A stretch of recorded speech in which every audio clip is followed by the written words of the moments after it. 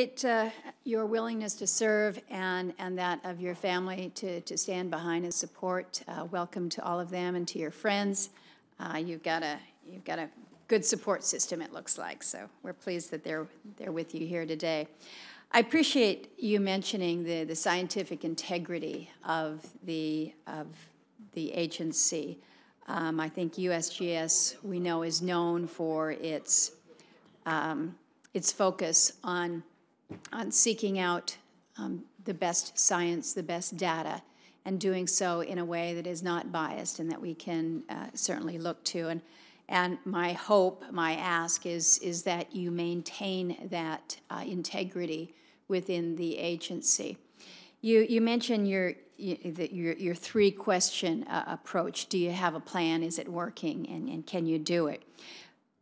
Easy question for you, hopefully, this morning uh, with, with, with the USGS as it is construct, is it is structured today, do you feel that uh, the agency is working as it needs to be? Uh, I have suggested that um, uh, that sometimes I think they may the USGS may have strayed from its core mission uh, in recognizing um, the original mandate as, as authorized under the Organic Act. Do you, do you feel that the, the agency is, is tracking right? If not, where do we need to adjust? Are there redundancies, uh, duplications with other agencies? Give me your view um, in one minute or less. Thank you, Senator. Uh, I always like a challenge. Yeah. Um, the uh, um, unfortunately, I can't really give you a good detailed answer for uh, the question on where I think things might have strayed. But one of the things I will be doing when I, if confirmed, is uh, I'll spend the first, certainly the first 30 days at the very least, uh, talking with all the uh, senior managers within the core mission areas and trying to evaluate how well they align with the Organic Act of 1879, because that is, as you point out, a very clear mission statement for the USGS. And we'll be looking very closely at that. And of course, I'd be happy to work with you and your staff on, on realigning it and anything that you might see being an issue where we would uh, need some need some focus. Good, appreciate that.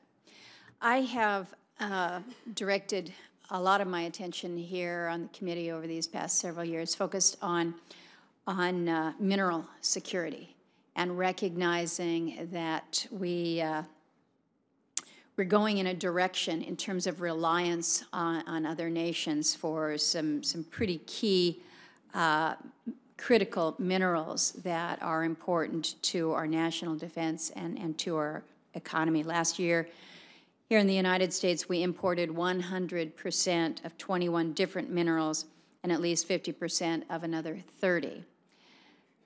This, this reliance on others concerns me. I hope it concerns you. We're looking to, to, to lessen that dependence.